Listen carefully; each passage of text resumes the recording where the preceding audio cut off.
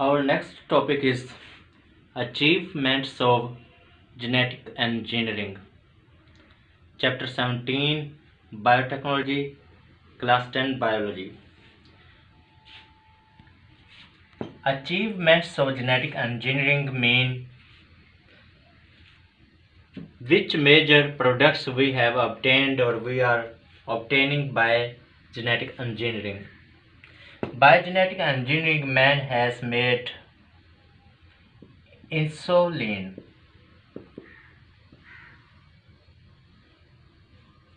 The production of insulin outside of body has been possible only because of genetic engineering.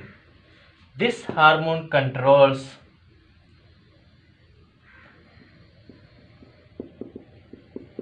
glucose in blood. And the patients of diabetes need this hormone from outside. Nowadays patients of diabetes or diabetics are getting insulin which has been prepared or which is being produced by genetic engineering. This is one achievement of genetic engineering. The second achievement or other achievement of genetic engineering is the production of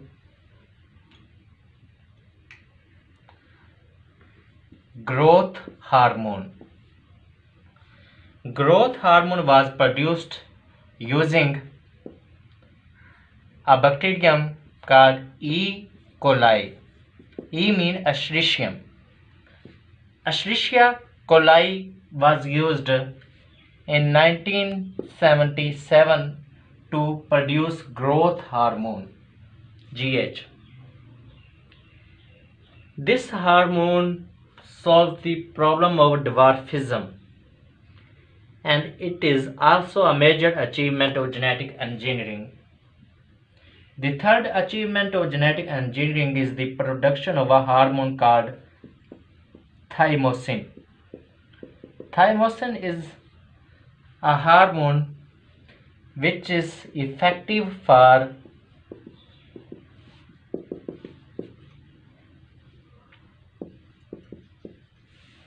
brain and lung cancer. The cancer of brain and lung can be resolved by a hormone called thymosin. And this hormone is being produced by using genetically modified organisms. It is also another achievement of genetic engineering. The fourth achievement of genetic engineering is beta endorphin. Beta endorphin is a natural painkiller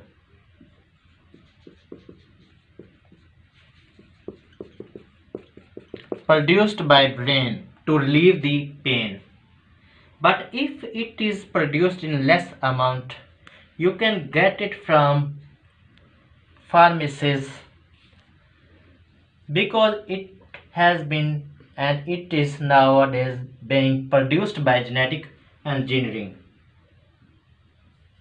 The fifth achievement of genetic engineering is many types of vaccines like a vaccine for foot and mouth disease in cattle, goats, deer, and the vaccines for hepatitis B are also an achievement of genetic engineering.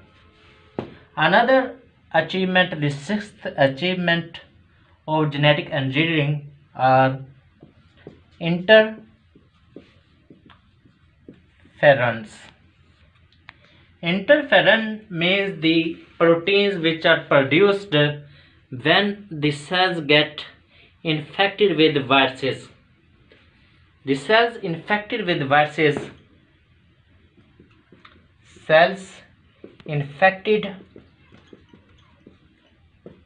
with viruses produce special antiviral proteins which are called interferons.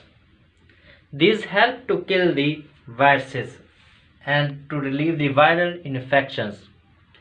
Nowadays, interferons are being produced by genetic engineering. The first interferon was prepared in 1980.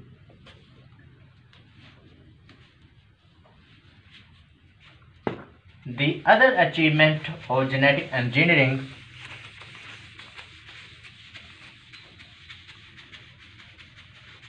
is enzyme urokinase. Urokinase is an enzyme produced naturally in the human body to dissolve blood clots. When there is more than normal number of platelets in a patient, the person's or patient's blood start to clot. And the function of urokinase is to dissolve the clots to prevent from the risk of heart attack or other cardiovascular disorders. Nowadays, this enzyme is being produced by genetic engineering, which is another major achievement of genetic engineering. The next achievement of genetic engineering is modification of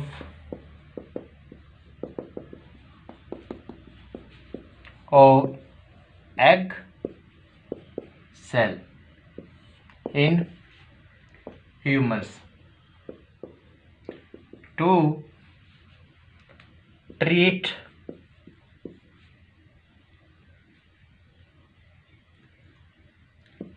inherited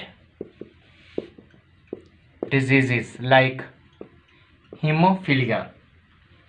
Many diseases come from mothers to the babies and the changes of the egg cell has made it possible by genetic engineering to get rid of these inherited diseases like hemophilia and it is another achievement of genetic engineering. The next Another important achievement of genetic engineering is treating blood diseases, treating genetic disorders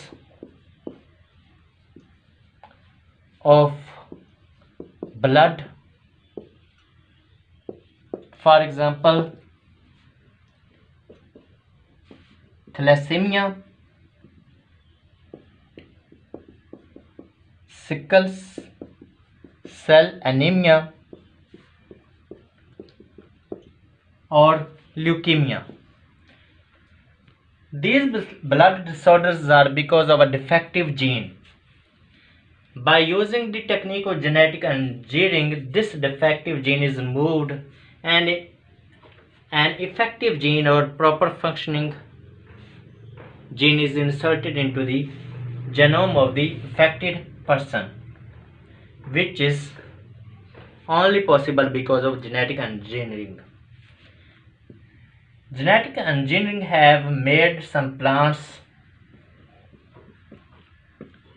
to able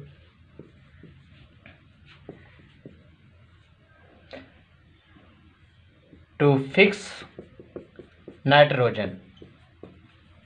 As you know plants need most of the plants need bacteria in their roots nodules to fix the nitrogen to get the nitrogen from the air. But now genetic engineering has made it possible for plants to fix nitrogen directly from the air they don't need bacteria which has them to store their food which they give to bacteria who give them nitrogen. Their food is saved and their chances of survival increase. Such plants which fix nitrogen are usually present in the areas which are deficient in nitrogen.